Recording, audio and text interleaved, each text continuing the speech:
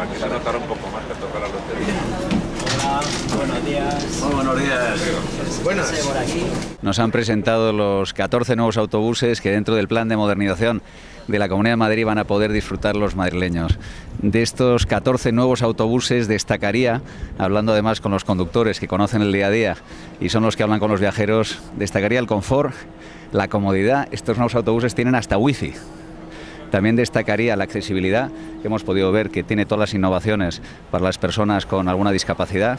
El tema de la seguridad es muy importante y ahí también destacaría la nueva tecnología que van teniendo sistemas de frenado, seguridad activa, seguridad pasiva. Además del, del confort, el la vertiente, la vertiente ecológica, es decir, son muy poco ruidosos y aparte pues la emisión de humos es muy bajita, creo que se reduce en un 50% y hombre, pues pasar de gasoil a gas natural, evidentemente que eso, eh, en el centro de, la ciudad por donde transcurren eh, pues muchas de estos autobuses lo van a notar también los vecinos. ¿no? Digamos, son la última generación de vehículos a gas natural que existe en el mercado, ¿no?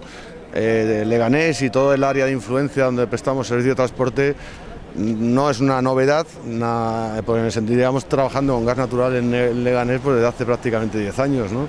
De hecho, tenemos nuestra propia base de, suministro de gas, natural en el polígono industrial del Portillo. Estos nuevos autobuses incorporan innovaciones en el respeto al medio ambiente, a la calidad del aire.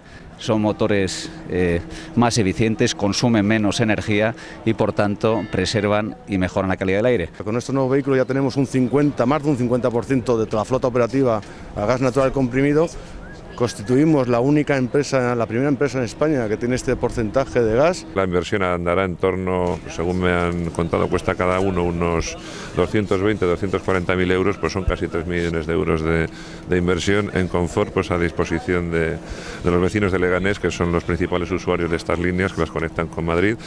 Y, en fin, pues felicitarnos todos por, esta inversión.